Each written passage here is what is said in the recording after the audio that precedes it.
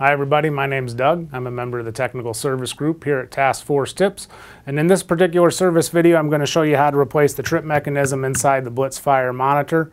Uh, a clear indicator that the mechanism may need to be replaced is when you open the valve. It should hold its open position when you release it, but if it continues to go closed regardless of its open position, then that's an indicator that that will need to be replaced. On the next screen, we're going to show you all the tools required and uh, parts to replace this mechanism. As you gather those up, we'll meet back here at the uh, service bench.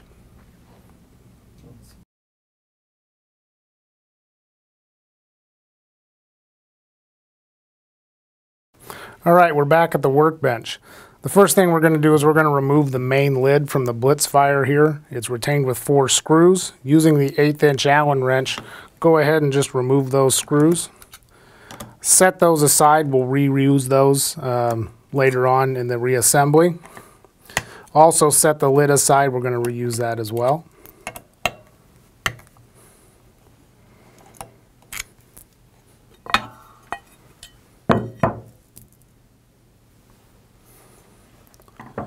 Once we're in there, go ahead and just unclip the spring and set that aside. We're going to reuse that. That's the spring that pulls the handle closed when the valve is tripped. Next, we'll take off the right side handle using the um, 730 seconds Allen wrench. Go ahead and remove the upper and lower screws that hold the handle on. The upper screw gets reused. The lower one, we send a replacement in the kit so you can set it aside or discard it. And this is retained with red Loctite, the lower screw, so that'll have a little bit of resistance initially when you try to remove it. I will point out now that these are two different length screws. The upper screw is shorter than the lower. Uh, just keep that in mind if I forget to mention it later in the reassembly process. Next, we'll remove the retainer plate from the trip mechanism. Using the 530 seconds Allen wrench, go ahead and remove the three screws that hold that in place. Set those screws aside. We're going to reuse those later. Now there's nothing spring loaded or anything that's going to come jumping out at you when you take this plate off, uh, but just a little, make sure you hold these two little pins in place as you lift that off. That just helps keep the pins where they need to be and other parts stationary. You can set that plate aside off to the side. We're going to put a new one on that comes in the kit. Remove this little spring that's directly in the center. Pull it off the screw head and just lift it out. We're going to set that aside for reuse later as well. You can pull the trip block off. You'll notice on there there's two little Teflon washers. We're going to uh, reinstall new washers that come in the kit. That pin came out. We'll just reach and get that out of the, the bottom of the unit. We're going to reuse that. Remove the trip rod and ball. New items come in the kit, so we're going to replace those. You can lift off the leaf spring, hold that pin in place and lift it up and off. Again, the kit has that, so we're going to set that aside. We'll reuse that later. Go ahead and pull the handle off set that aside. Now we're going to take out the detent block. The detent block is held in by the, uh, the trunnion that drives the valve open and close. So once you pull that out, this will come directly out. Dispose of that, we'll be installing a new one. Now the kit does not come with a new trunnion, but it's still, this is a good opportunity to inspect this, uh, this square plastic um, insert. This is what engages the slide valve and drives the valve open and closed. You want to make sure that's not damaged or cracked or, or missing if that's the case. Um, if that is damaged, um, you'll want to order a new one of these before proceeding uh, with the repair. Set that aside. That one looks good. We will reuse it. Now that leaves us a clean cavity inside. Uh, this is what it'll look like once you've completed the disassembly blow out any dirt or anything that may have accumulated in there. Now during the reassembly of this, we're not going to grease any of these parts. These parts do not receive grease in order to, to operate normally. Okay, the first thing we're going to do is we're going to put in the new detent plate. Uh, you'll notice there's two sides of it. There's a flat side and a, and a groove side. Those are the detents that hold the valve in various open positions.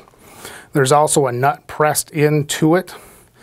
When you insert that, the flat side should go against the casting and the detents will face inward. Just set that down in there. Now you want to feed the trunnion back through the valve disc here, through the larger hole. And we're trying to get it to go into this hole here, so you may have to move things around just a bit to engage. And you want to make sure that's pushed all the way in and flush. If that's in flush, that tells us we've engaged the groove in the slider and everything's sitting where it should be.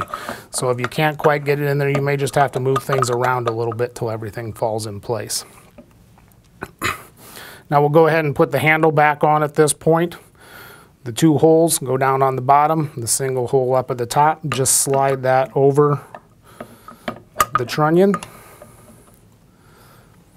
Now, like I say, the kit comes with a new screw for the lower. It's longer. The lower one is the longer screw. This gets a little bit of red Loctite right out at the tip of the screw. Now, just a little tip. When you're putting this in, kind of insert it gingerly. You don't want to just shove it in there and knock that pressed in nut out. That'll if you press if you push that nut out, you'll have to take the plate out, retrieve the nut, get it all pushed back together. So just put that in till you just feel it engage, till you just feel it touch. And like I say, don't just push it in. Go ahead and just start threading it in. That guarantees you that you won't push that nut out of the detent plate. Just kind of make that loosely snug for right at the moment. Take the shorter screw. This one gets a little bit of blue Loctite. The kit does include the appropriate blue and red Loctite vials that you'll need. Just thread that in.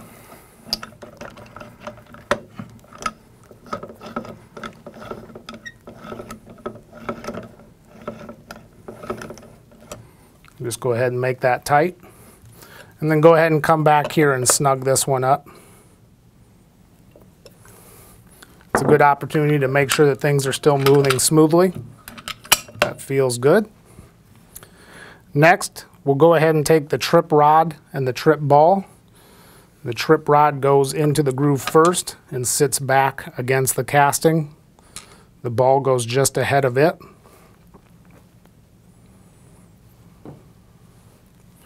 Next, go ahead and take your leaf spring. These, the side with the two bumps, that goes against the detent plate and slides over this pin. It should just slide right down and sit.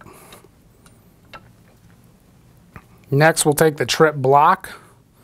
The trip block has a pressed in stainless steel pin. That should align with the Torlon trip ball that's in here. Go ahead and just put that over the pin. You may have to move the leaf spring one way or the other to get it to line up in the groove. Make sure that's in there and things move freely. Taking the spring that we took out previously that was on the screw head kind of in here, go ahead and place that over the screw head on the leaf spring and then just set it down into this machined um, groove where the spring goes and that will just sit there like that. What that does is that keeps the detent pressed against the detent block. Now, very important, the kit comes with two small Teflon washers. They're easy to lose, be careful. Put those on top of the trip block. There should be two of them. These just space ever so slightly the retainer plate off of the trip block to allow that to rotate easily. Without those, the trip or the retainer plate can push down on the block, not allowing it to actuate the way it should. Now another important point, you'll see there's a raised island here that sits over the trip mech or the uh, trip rod and ball and there's a pressed in roll pin that acts as a travel stop for this trip block. Uh, far and away the most common cause of re you replace the trip mechanism, brand new parts, and you find it still doesn't work. Often I found what happens is the plate goes on and the roll pin gets tightened down on top of this trip block. You don't want to do that. You want that block to be able to move. So pull that trip block back out of the way, allowing the roll pin to sit beside it. This is all the farther that trip block has to move to operate properly. However, if you tighten down the roll pin onto the trip block, it can't move. So make sure that's positioned properly and has that little bit of movement.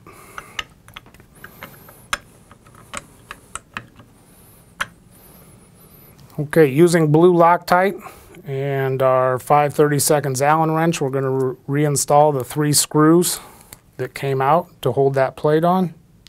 Just a small dab of blue Loctite, doesn't take a lot for this size screw.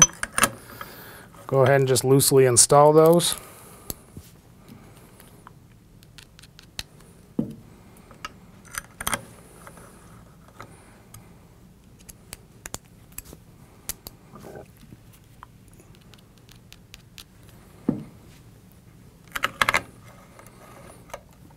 Once you feel everything's lined up, go ahead and just snug them up.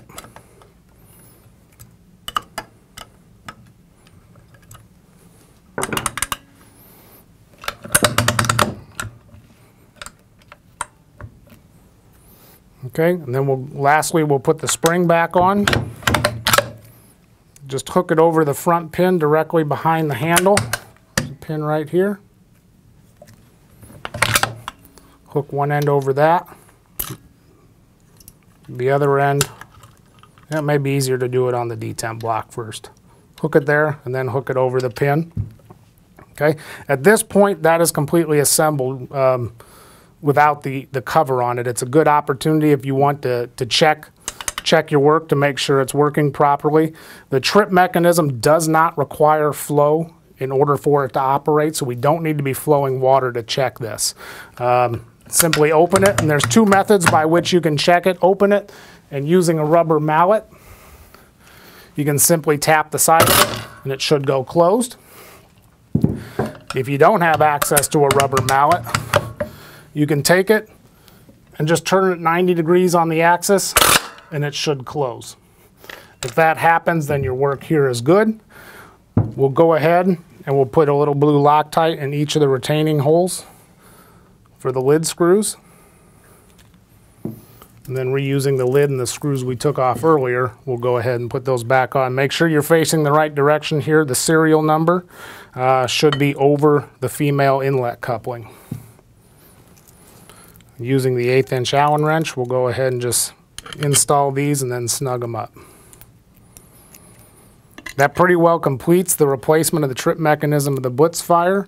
If after having reviewed this service video, you find you have additional questions or concerns, certainly feel free to reach out to us. You can find all of our contact information at tft.com, or you can also reach us at 800 348 2686 and ask for the technical service group.